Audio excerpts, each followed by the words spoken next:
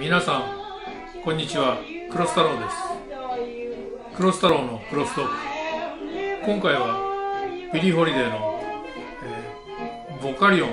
レーベルについてご紹介いたします。このボカリオンというレーベルはもともと1920年代には、えーレースレコード、えーレースあの黒人専用のえーレーベルとして、存在しておりました。この、えーレースレコードのボカリオンが、えー1925年に、えーブランズウィックに買収されます、えー1930年にワーナーブラザーズがブランズウィックを買収いたします。1931年12月には、えーワーナーブラザーズはこのブランズウィックとボカリオンのライセンスを ARC アメリカンレコードコーポレーションに、えー譲渡いたします。この ARC は、えーブランズウィックを75セントボカリオンを廉価版の35セントで、えー発売しておりました。特に板質が劣るとか録音が劣るとかということではないのですけども、え一応、えーボカリオン廉価版という位置づけで発売しておりました、えー1935年には、えーご紹介する、えー黒地に金スクロールのラベルにデザインが変更されております。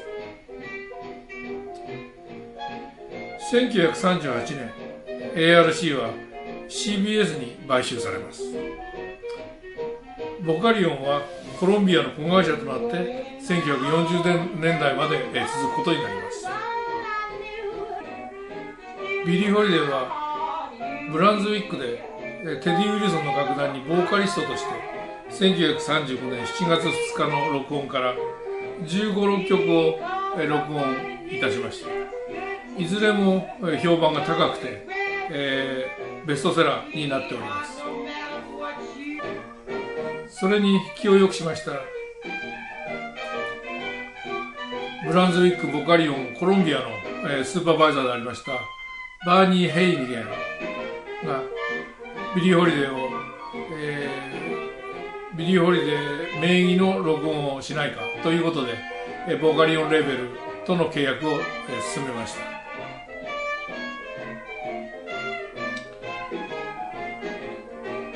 1936年7月10日から1940年2月29日まで。ビリ・ホリデーボカリオンレベルで29枚58曲を録音しております。この間もブランズウィックでテディ・ウィルソンとの、えー録音は並行して行っております。ボカリオンとしては3276から5609まで29枚58曲が残されております。この中でラベルが途中で変わっていきます。3276から3334までは黒地に金スクロールです。3431から3748までは初期の青地に金文字です。3947から5609までは後期の青字の金文字です。このボカリオンに、えー誘ったバーニー・ヘイニゲンですがこの人は当時ビリー・ホリデーが出演してました、フェイマス・ドアの常連客だったそうです。そこでトランペッターのバニー・ベリガンがビリー・ホリデーと同様に、えー大変受けていたということを知っておりましてこのバーニー・ベリガンに、メンバーを集めさせます。後に、えー大ブレイクします、えーアーティ・ショーなど、えー、メンバーに加えてボカリオンのビリー・ホリデー初吹き込みが行われます。1936年7月10日のことでした。この日は大変暑くて、えー、当時まだこの録音スタジオにエアコンがありませんでしたのでみんな汗だくで演奏したという記録が残っております。しかしビリー・ホリデーはそんな中でも大変自信に満ちた歌声を歌声を披露しておりま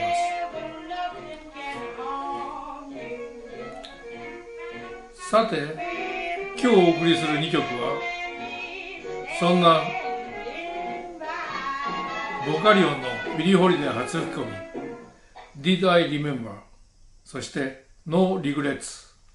この2曲です。では続けてお送りいたします。どうぞ。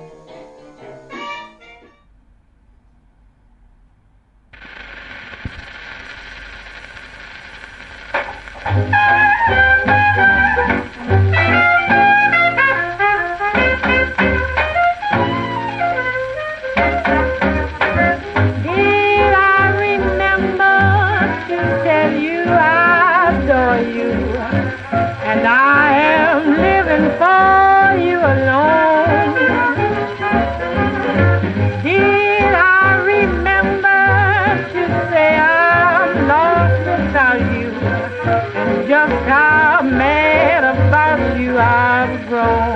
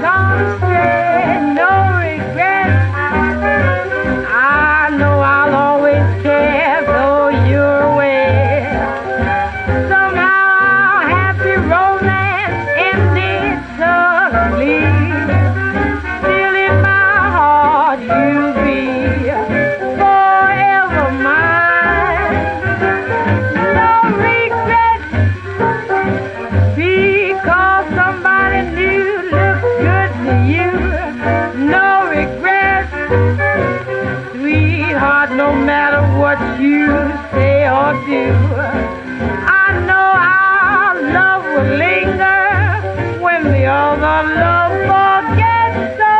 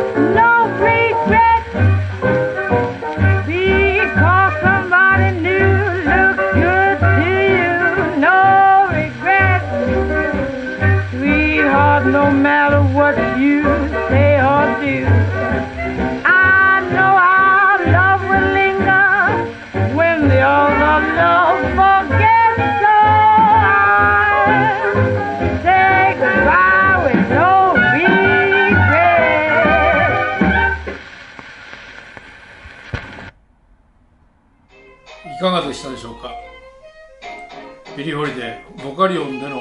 えー名称でございます。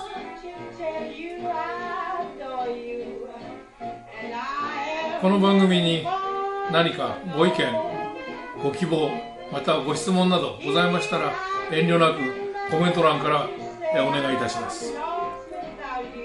番組の中でお答えいたします。またわからないことはこちらでお調べいたします。ではまたお目にかかりましょう。ごきげんよう。さようなら。